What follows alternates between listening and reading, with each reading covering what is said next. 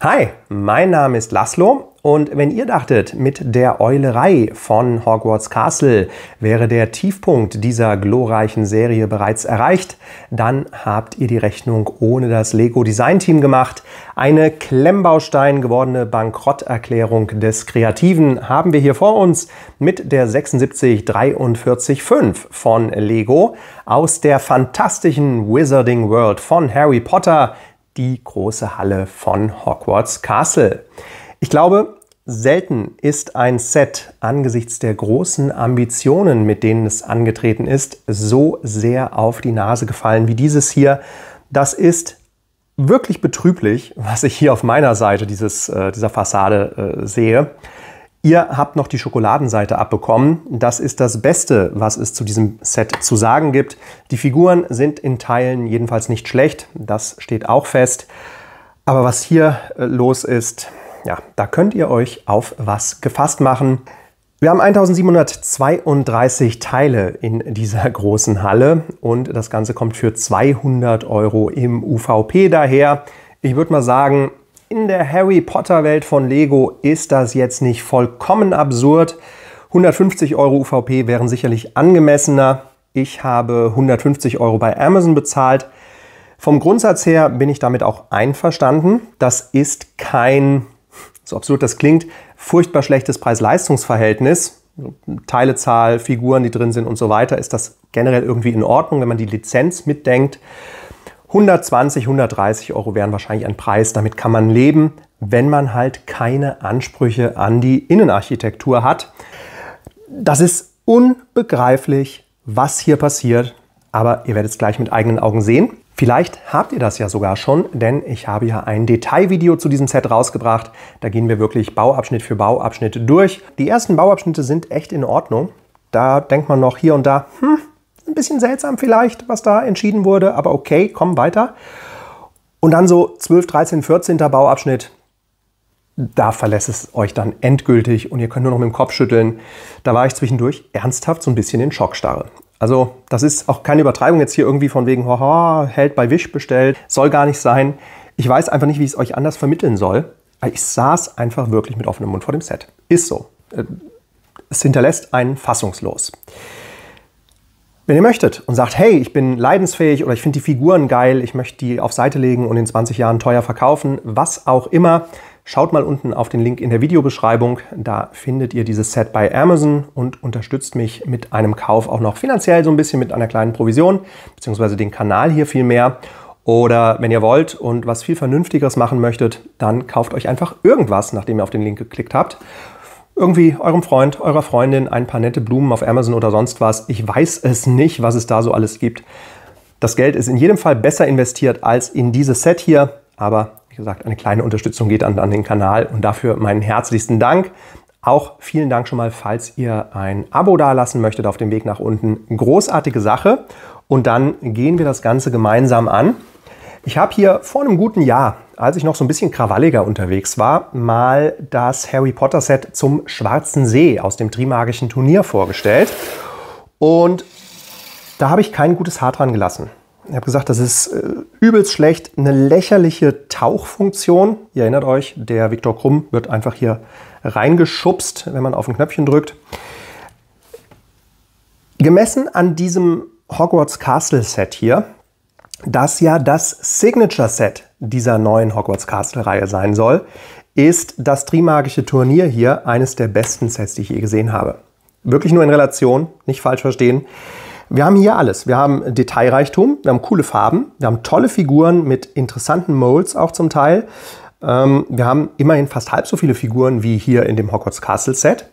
Und es ist tatsächlich auch angemessen ausgestattet im Inneren mit Dingen, die wir gar nicht gewollt oder gebraucht hätten. Keine Sticker, eine Uhr, die sich dreht. Also was willst du mehr? Wir haben sogar echte Funktionen drin mit der Tauchfunktion und allem. Und es gibt ein Boot. Ja, nicht mal das geben sie uns hier mit, obwohl wir unten einen Weg zum Bootsanleger haben. Das ist so lost, dieses Set, dass sogar das dagegen gut ausschaut. Und das heißt eigentlich alles, was ihr wissen müsst. Die große Halle ist Teil, ich habe es gesagt, der neuen Hogwarts Castle-Reihe. Ich weiß nicht, Version 3.0, 4.0 von Hogwarts Castle mittlerweile. Und seit der letzten Variante ist man ja dazu übergegangen, einzelne Module zur Verfügung zu stellen, die man dann zu einem großen Hogwarts Castle zusammenfügen kann. Eine Idee, die ich extrem klug und cool finde, sowohl aus Marketing-Sicht, aus betriebswirtschaftlicher Sicht, aber auch so in Sachen Fanservice und so ist das einfach eine feine Sache. Klar, kostet euch doppelt und dreimal so viel wie das alte Schloss Hogwarts. Aber nichts dagegen. Ja, man kann was sammeln, ist in Ordnung. Hier mit diesem Set, das das größte Set dieser frühen Welle jetzt der neuen Hogwarts-Sets ist, ist das Ganze eigentlich schon komplett auf den Bauch gelandet. Ja, also die, die Eulerei, Heulerei nennen es ja manche, ähm, das war schon düster, aber das hier zeigt eigentlich, es geht genau da weiter. Das war kein Ausrutscher. Kaufe vier Eulereien, dann hast du einen Turm. Hier ist es, kaufe zwei von diesen Sets und dann hast du eine große Halle. Ja, wir nähern uns dem Ganzen so gelassen wie möglich, möchte ich fast sagen, aber so richtig ist das kaum noch äh, machbar. Schauen erstmal auf die Box. Und ja, von der habe ich mich blenden lassen, wie ein blutiger Anfänger. Ich kann es nicht anders sagen. Ich hatte wirklich Bock drauf euch ein geiles Set zu zeigen und mal wieder ein richtig großes Spielset von Lego zu bauen. Ja, mit vielen Figuren, Harry Potter Reihe, eine der großen Reihen von Lego. Da dachte ich, machst du echt nicht viel mit falsch.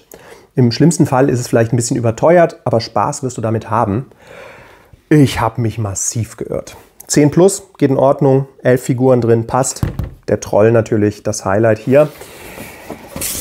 Ich hätte viel, viel genauer hinschauen sollen. Ja, hätte ich hier besser drauf geachtet, ja, hätte ich hier unten besser auf diese Module geschaut, dann ähm, wäre mir wahrscheinlich klar geworden, das hier ist eigentlich das zweite Set, das ich ungeöffnet zurückschicken muss nach der unseligen Yavin 4 Rebellenbasis. Ich habe irgendwie gedacht, naja, das ist wahrscheinlich nur so ein Ausschnitt. Wie ein Anfänger, ich sag's euch, als hätte ich noch nie ein Lego-Set gesehen. Und ich habe es aufgemacht und losgelegt und habe nicht weiter drüber nachgedacht. Mir hat die Idee gefallen, dass man diese Elemente unten rausnehmen kann zum Bespielen. Das fand ich irgendwie knuffig, fand ich eine gute Idee. Eieiei. Wir haben fünf äh, Collectibles äh, Portraits, äh, Port, Port, Portraits, Port, Port, Portraits. Vergiss es. Wir haben, wir haben fünf Collectibles drin, diese bedruckten Fliesen mit Gesichtern von irgendwelchen Zauberern. Die fügen sich auch ein ins Set. Soweit ähm, so gut. Vollkommen schamlos wird hier noch auf die 76426 hingewiesen. 40 Euro, wenn es nach Lego geht und bei Amazon 30 Euro und ihr habt halt noch ein Bootshaus dabei. Das wird eure große Halle gleich viel, viel hübscher machen. Wer tut sowas? Ich meine, wie verzweifelt, wie gutgläubig, wie naiv muss man sein, um da noch zuzugreifen? Ich habe keine Ahnung. Wir werden es rausfinden, ob das hier was kann ich habe echt gedacht, okay, die große Halle, die wird geil. Du kaufst das Bootshaus dazu. Im Worst Case ist es Schrott, aber dann hast du wenigstens mit der großen Halle gezeigt, du hast nichts gegen die Serie als solches. Alles bestens. Ich befürchte ernsthaft, dass das Bootshaus im Preis-Leistungs-Verhältnis das angemessenere Set sein wird. Wir werden es rausfinden gemeinsam. Die Box bringt noch ein weiteres Feature, denn man kann sie öffnen wie so ein Brettspielkarton. Das ist cool generell. Ich finde, das wirkt erstmal wertig. Die Betonung liegt aber auf wirkt. Denn ich ähm, finde es manchmal ein bisschen albern, wenn der Held der Steine sagt, boah, die Pappe ist so super dünn. Ja, man kann sich über alles aufregen. Aber in diesem Fall hat er echt recht. Die Pappe hier ist so dünn, dass sich das Ganze so billig und schäbig anfühlt. Man hat echt diese wabbelige, diesen wabbeligen Deckel hier, der in sich schon zusammenknickt. Ja? Und diesen, diesen Schornkarton gefüllt mit den ähm, 16 äh, Papierverbundtüten zum Greenwashing und so weiter und so fort. Das wirkt super billig. Ernsthaft. Wirklich schade. Finde ich diese Aufklappkartons viel, viel schöner. Das ist B-Note. Viele interessiert das auch gar nicht. Ist mir auch klar, mich juckt das auch normalerweise nicht so sehr. Aber es kommt halt zum Gesamteindruck hinzu. Ich habe den Stickerbogen verloren. Der ist mir da irgendwo ins Jenseits gesegelt gerade. Aber einen habe ich noch. Äh, in Silber hier die Folien für die Spiegel. Der andere Stickerbogen, das sind vielleicht so 10 Sticker drauf. Das ist winzig klein. Echt in Ordnung. Da denkt man sich, naja, bei 1700 Teilen, das kann man machen. Wir haben trotzdem gleich Themen bei den Stickern, keine Frage. Die Sache ist nur, ihr würdet euch wünschen, dieser Stickerbogen wäre viermal so groß, wie er denn tatsächlich dann ist. Denn dann wäre wenigstens irgendwas los im Inneren dieser Halle, dieses Schlosses. Tatsächlich ist da komplett gähnende Leere. Es ist so langweilig, wie man es nur machen kann. Ich bin echt wirklich am Schwanken zwischen Enttäuschung, Entsetzen, völligem Unverständnis und äh, ja, so einer Lache, wenn es nicht zum Weinen reicht, Mentalität. Ja. Wir haben fünf Anleitungen im Set und alle, die so ein bisschen OCD haben oder einfach nur ordnungsliebend sind, die müssen jetzt ein bisschen tapfer sein. Diese Anleitungen kommen in allen Größen und Darreichungsformen daher. Ja, kleine geheftete Broschüre, äh, andere kleine geheftete Broschüre, eine viereckige Broschüre geheftet, ein großes Heft und ein richtig gebundenes Heft. Okay, auch alles B-Note. Es ist nicht schlimm, es ist eine Anleitung. Aber es macht schon keinen Sinn, dass sie es aufteilen. Ich kann mir nicht vorstellen, dass viele das wirklich mit drei, vier Leuten bauen und sagen, hier du ein bisschen, ich ein bisschen. Es ist komisch einfach komisch. Und ja, hier sehen wir nochmal den großen Plan. So soll das Ganze dann aussehen. Ne? Das detaillierteste Schloss Hogwarts aller Zeiten. Das ist hier der Anspruch. Äh, weiß ich nicht. Wir werden es sehen. Wir holen das Schloss mal wieder rein und schauen aber zunächst auf die Figuren. Da haben wir einmal Harry und seine Freunde. Das Verhältnis Torso zu Beinen, das passt mir hier nicht so ganz. Das sieht ein bisschen albern aus. Gut gefällt mir, dass Hermine tatsächlich nicht nur so ein Rock-Element anhat, dass man zwischen Torso und Beine steckt, sondern dass die Beine auch noch dual-molded sind, das heißt mit Dark Bluish Gray hier gemischt, so dass es ausschaut, als hätte sie eine Strumpfhose an. Das geht auch den beiden anderen Schülerinnen im Set so. Die sehen wir hier. Einmal die Hufflepuff Liane, die hat keinen Nachnamen. Wir sehen den Ravenclaw-Schüler Terry Boot, und wir sehen die Slytherin Daphne Greengrass. Ich finde nett, dass sie die unterschiedlichen Uniformen der Häuser anhaben. Das ist gut gelungen. Und ich mag generell, dass es Figuren aus der zweiten Reihe sind. Ja, wir haben ein paar unterschiedliche Schüler dabei, nicht immer nur dieselben. Und so kann man über die verschiedenen Sets hinweg, wenn schon nichts anderes, dann doch zumindest das Schloss Hogwarts wirklich mit unterschiedlichsten Schülern bevölkern. Ein paar Lehrer sind auch dabei. Da haben wir Professor Vector. Das ist die Arithmantiklehrerin von Hermine Granger im ersten Schuljahr. Das ist so eine Art Wahrsagerei aus Zahlen. Sehr, sehr schöne Figur generell. Ein bisschen schade, dass der Torso an den Seiten übersteht, an den Seiten des Rocks. Das passt nicht so 100%, sieht ein bisschen unsauber aus, setzt sich auch fort bei weiteren Figuren dieser Art. Der Rock hinten ist unbedruckt, aber dafür haben wir einen sehr, sehr schönen Dual Molded Hut. Das gefällt mir extrem gut. Schön, so mit so ein paar Kerben drin, auch oben angemessen gekrumpelt. Das sieht richtig gut aus. Sehr schöne Figur. Professor Quirrell ist ja allen bestens bekannt aus der Stein der Weisen. Unter seinem großen Turban verbirgt sich Lord Voldemort auf dem Hinterkopf. Ansonsten eine relativ langweilige Figur. Ähnlich wie der fette Mönch. Das ist einer der Geister, die in Hogwarts spuken. Wirklich fett ist er gar nicht, aber auch er hat einen Rock an, der ein bisschen ähm, zu schmal ist für den Torso. Also das zumindest passt dann irgendwie vielleicht sogar. Ist nicht meine Figur, finde ich nicht so spektakulär. Anders als ja, Albus Dumbledore. Diese Figur ist ein Kracher, ist definitiv für mich das Highlight schlechthin dieses Sets.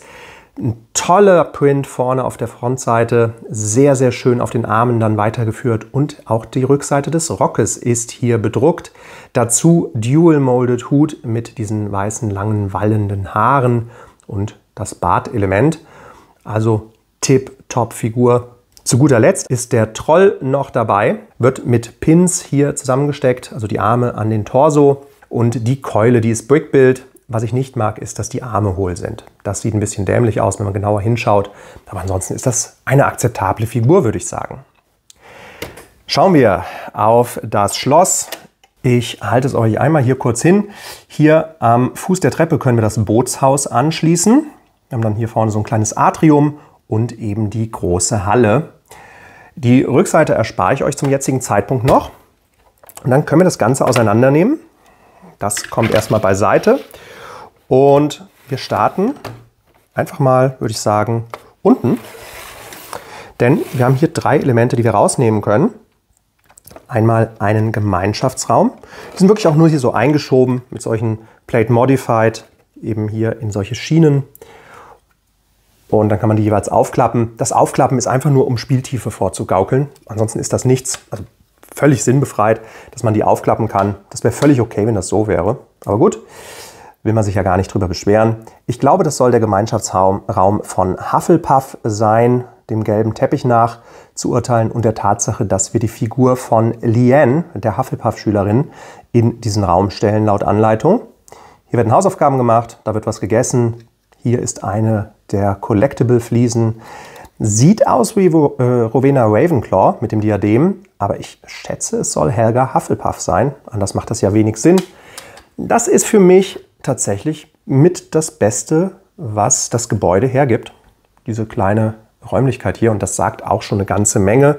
Wirkt zumindest so ein bisschen heimelig, aber auch da bei näherem Hinsehen, wirklich detailliert ist das alles nicht. Das ist so eine Andeutung von Detailreichtum, würde ich mal sagen. Gleich im nächsten Raum wird selbst darauf dann verzichtet. Das ist so ein Flur, sagen wir, wie es ist. Vier Porträts an der Wand. Die vier Gründer von Hogwarts nehme ich mal an.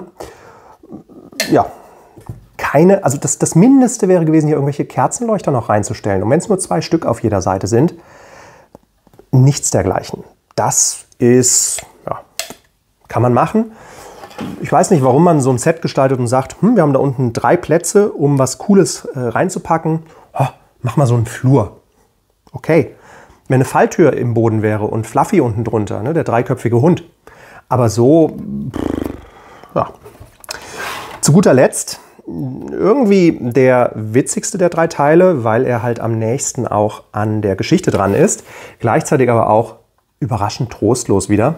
Das Badezimmer Hermine Granger verbirgt sich hier ja oder versteckt sich auf dem Klo im ersten Band, weil Ronald unter anderem sie als ähm, Streberin und Besserwisserin und ich weiß nicht was alles betitelt. Sie heult und verpasst die große Halloween-Feier und dann kommt der Troll zur Tür rein und zerdeppert hier erstmal so ein Waschbecken und äh, schließlich kämpft er dann gegen Harry und Ron, die ihn dann außer Gefecht setzen mit der eigenen Keule. Das kann man hier auch nachstellen, dann generell okay. Wir haben die Spiegel hier, die Toilettentüre hängt an einer C-Clamp. Also da wird sogar auf eine zweite C-Clamp verzichtet. Das ist das Niveau, auf dem wir uns hier bewegen. Und ja, Noppenoptik sowieso. Und innen drin ein Klo. Immerhin diesmal ohne Pipi-Kaka-Witz, aber sehr dünn. Sehr dünn. Dann das äh, Felsmassiv, auf dem Hogwarts steht. Wir haben hier so eine Tür zum Öffnen mit, na, die haben wir doch, mit, ja, klappt gut, ihr seht das, wieder Profi am Werk. So, eine Tür zum Öffnen. Grotesk hässliche Sticker. Ich weiß nicht, was das soll. Das haben wir schon beim Raum der Wünsche gehabt, ja, bei alten Hogwarts-Sets. Das sieht so dumm aus, wirklich so schlecht aus. Ja, innen drin ein Besen, die Tür schließt auch nur so halb. Das heißt, gerade wenn man dann hier vorne, da haben wir das Gegenstück von diesem äh, Rundbau, das, da, das bleibt immer so einen kleinen Spalt offen und sieht ein bisschen dämlich aus. Weiß ich nicht, hat man sich keinen Gefallen mitgetan. Die Treppe, die mag ich. Die ist ganz cool gemacht, weil sie mit solchen ähm, Warnkellen, mit den Pins hier, angesteckt ist in hier solche Headlight Pieces. Das ist eine schöne Lösung, um das Ganze so schräg zu stellen. Also das finde ich tatsächlich auch neben dem Gemeinschaftsraum von Hufflepuff hier den gelungensten Teil eigentlich dieses Sets. Gibt es nichts zu motzen. Und das hier unten ist eigentlich das, womit wir anfangen normalerweise beim Bauen. Das sind so die ersten vier oder fünf Bauschritte. Und da sind wir echt dann sehr schnell schon an einem Punkt, wo man sagt, hm, ich habe jetzt eigentlich fast das halbe Set hinter mir. Und das ist alles, was ich bislang habe. Ja. Man könnte jetzt gemein sein und hingehen und sagen, hier vergleich das mal mit dem Felsmassiv bei den Astronomen-Sets von, von Bluebricks zum Beispiel. Die Zielgruppe ist halt eine andere. Das ist nicht wirklich an erwachsene Klemmbaustein-Fans gerichtet, sondern eben auch an Harry Potter-Fans und an Jugendliche und sowas. Da fehlt die Geduld, da fehlt auch der Anspruch vielleicht. Ist ja völlig in Ordnung, dass man sagt, hey, das ist doch schön detailliert. Ja, für Lego-Verhältnisse mag das sein. Wenn man jetzt in der Klemmbausteinwelt unterwegs wäre, ne, sieht dieses Set natürlich hier mit dieser Fassade keinen Stich. Von wegen detailreichstes Set und so. Ja, ist okay. Wir haben immerhin ein paar große Elemente drin, das ist fein. Wird dann alles hier so zusammengesteckt. Auf der Rückseite noch so eine Snot-Bauweise. Das ist somit das Spannendste, was wir bauen im ganzen Set. Äh, neben der, der Treppe vielleicht noch. Und das sagt auch schon wieder alles. Man hätte hier Bricks reinsetzen können, natürlich, gar kein Problem. 16er Brick, 12er Brick, 16er Brick oder so, keine Ahnung. Man hat es halt mit Snot-Bauweise gemacht. Ist fein. Wir sehen hier auch schon so Andockstellen für zukünftige Sets mal abwarten. Und oben dann modular, damit wir eben die Halle und auch dieses Atrium hier aufsetzen können. Das Atrium, da wurde mir dann zum ersten Mal klar, hm, das ist irgendwie ja, so ein bisschen karg, ein bisschen wenig detailreich. Keine Statuen hier, irgendwie Ritterstatuen oder so, keine Böche, kein kleiner Brunnen, gar nichts. Ein Säulengang, und so eine Andeutung von Detailreichtum durch die Verwendung unterschiedlicher Bricks hier. Mehr nicht. Sticker. Warum muss man hier auf dieses 1x2 Element einen Sticker kleben, statt dass man unten einfach einen Masonry Brick in Tan reinbaut und dann einfach ein kürzeres äh, Element draufsetzt oder alles aus Masonry Bricks macht? Warum, warum das hier? Das sind die unnützesten, die dämlichsten Sticker im gesamten Lego-Universum. Challenge äh, geht raus sozusagen. Also sagt mir gerne, was sind noch dümmere Sticker als diese? Mir fallen keine ein. Das Dach, Noppenoptik, okay. Ähm, cool ist hier definitiv die Uhr. Also ein Highlight ist ein Print, natürlich an der Stelle, kann ich fast sagen. Ähm, das ist fein. Aber etwas, etwas unspektakulär das alles. So, jetzt ist die Sache die, wir haben noch die große Halle. Und mir fallen hier dauernd die, die, mir fällt hier dauernd die Brüstung ab. Es hängen überraschend viele Plates, sowohl einmal X als auch zweimal X, einfach in die Luft. Wird dann so akzeptiert, dass die, dass die einfach ein bisschen überhängen und nicht mehr auf der letzten Noppe aufgesteckt sind auch es ist seltsam. Ne? Also hier zum Beispiel. So sieht das des Öfteren aus in diesem Set. Und ich weiß gar nicht warum. Es wirkt irgendwie so wie so ein Anfängerfehler, wie so eine Anfängerherangehensweise. Keine Ahnung. Ich akzeptiere, wenn jemand sagt, ja, das ist doch schön, das ist doch detailreich. Ja, könnte man meinen. Auch hier, wenn ihr jetzt Klemmbaustein, Modulars für Erwachsene gewohnt seid, ist das hier gar nichts. Ja? Wenn ihr Lego gewohnt seid, denke ich, ist das okay. Sie versuchen hier anzudeuten durch verschiedene Farbtöne, durch die Verwendung unterschiedlicher Bricks, dass so ein bisschen Struktur im Mauerwerk ist. Also richtig ist das natürlich nichts. Das Dach wird eigentlich immer schlimmer, je länger man drauf schaut. Ich mag die Verwendung der Käseecken an der Stelle. Ich verstehe allerdings nicht, warum sie hier das ähm, Sand Green verwendet haben, denn eigentlich sind die Dächer ja äh, Dark Bluish Gray. Also eigentlich müssten diese Käseecken hier alle Dark Bluish Gray sein. Dann wären das so kleine Erker, die da aufsitzen. Auch hier die Verwendung von äh, Sand Green. Weiß nicht, ob es eine kleine, kleine Reminiszenz sein soll an die alten Hogwarts-Sets, die noch diese Farbe hatten. Okay, egal, ist da. Kann man jetzt noch sagen, passt. Ich mag das RK-Fenster hier, das finde ich irgendwie in Ordnung. Aber was hier drin passiert, ach hier, der Sticker. Äh, warum? Was ist das? Schaut es euch an. Schaut es euch längere Zeit an und sucht euch euren Punkt des Entsetzens aus. Ich fange mal oben an. Das hier ist unverkleidet. Das gehört so. Das ist genau so gedacht. Ähm, ich weiß nicht, warum das so gedacht ist. Jetzt kann man natürlich sagen, ja, du hast den großen Plan nicht durchschaut. Da kommt ja noch das andere Set dagegen dann in Zukunft. Ja, da kommt ja noch was. Ja, okay. Dann sollte Lego mir das aber schon sagen, damit ich nicht sauer und enttäuscht bin und weiß, okay, das ist jetzt nur ein Teil der großen Halle, denn offensichtlich soll die von der anderen Seite ja sicherlich noch verkleidet werden. Dann ist das aber irgendwie Etikettenschwindel, wenn ich draufschreibe, große Halle. Also ich gehe davon aus, dass es so bleiben soll, sprich unverkleidet. die, die, das war so ein Punkt hier auch, dass, dass der, Himmel, ja, die Decke der großen Halle, durch die man das Wetter draußen sehen kann. Das ist das Wetter. Es regnet äh, Negativnoppen sozusagen. Zwei Wölkchen haben sie uns spendiert. Das war der Moment, wo ich wirklich da saß mit offenem Mund und meine Frau kam vorbei und sagt, was ist denn bei dir los? Und ich sage, was ist das?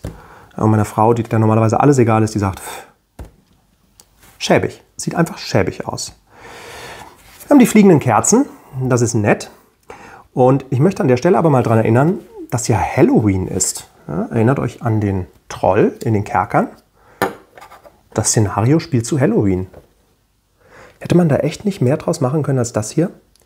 Nehmt, macht euch mal den Spaß hier auf YouTube, wenn das Video vorbei ist. Guckt euch mal ähm, Halloween Harry Potter 1 an. Oder so. Gebt das einfach mal ein. Ihr werdet begrüßt von einem Meer aus fliegenden Kürbissen mit Kerzen drin. Dann schwenken sie auf die Tische und wandern so über die Tische. Und, und da seht ihr so viele verschiedene Speisen. Hier haben wir Salat mit Tomate und Cremetörtchen. Einer der Lehrer hat sich noch einen, eine Gänsekeule unter Nagel gerissen. Und das ist es. Die Schüler sitzen auf Bänken im Film. Das sind, also, wenn das die Bänke sein sollen, sind das die schäbigsten Bänke, die ich in der ganzen Lego-Welt jemals gesehen habe. Ja, einfache Jumper-Plates. Immerhin auch solche Zweier-Jumper-Plates, also zumindest coole Teile zum Teil dabei. Das ist, das ist nix. Ja, dann hier hinten wenigstens irgendwie einfach ein paar Kerzen hingeklebt mit Stickern. Lasst uns doch wenigstens die Panel von innen bestickern. Äh, von innen bestickern. Ich mag das auch nicht mit den Stickern, aber dann sähe es wenigstens irgendwie ein bisschen voller aus. Die vier Hausbanner, natürlich bestickert, gar keine Frage. Ja. Wohl dem, der ruhige Hände hat. Das hätten Print sein müssen, genauso wie hier oben das Hogwarts-Siegel. Äh, also, ja. Nochmal. Die 150 Euro jetzt oder 200 Euro UVP geschenkt, aber die 150 Euro, möglicherweise 130 oder 120, die es dann werden am Ende, das ist so in Summe irgendwie okay. Aber ich hatte keinen nennenswerten Bauspaß. Ganz, ganz wenig jedenfalls. Die Figuren sind zu zwei Dritteln bis drei Vierteln, ihr wisst, was ich meine, ähm, eigentlich ganz nett, aber ja, was, wer braucht irgendwie sechs verschiedene Arten von Schuluniformen? Nicht nötig. Dumbledore, in Abstrichen Professor Vector, die Arithmatiklehrerin, okay. Das geht klar. Und ähm, ja, der, der Troll, die sind's. Was denkt ihr? Bin ich dazu kritisch? Habe ich ein Problem mit Harry Potter? Einfach ist es das? Verstehe ich die Welt nicht mehr, die ich damals so geliebt habe? Oder wo ist das Problem? Lasst mich mal wissen in den Kommentaren, was ist eure Meinung? Was ist der unnötigste Sticker in der Lego-Welt, den ihr jemals gesehen habt? Und ja, wir werden uns das Bootshaus noch anschauen. Mal gucken, wie das so wird. Ich lege euch das Detailvideo ans Herz, wenn ihr noch mal näher rangehen wollt. Dann würde ich mich sehr freuen, wenn ihr mir ein Like oder ein Abo dalasst und wir uns beim nächsten Mal wiedersehen. Bis dahin, habt eine ganz wunderbare Zeit und bleibt gute Menschen.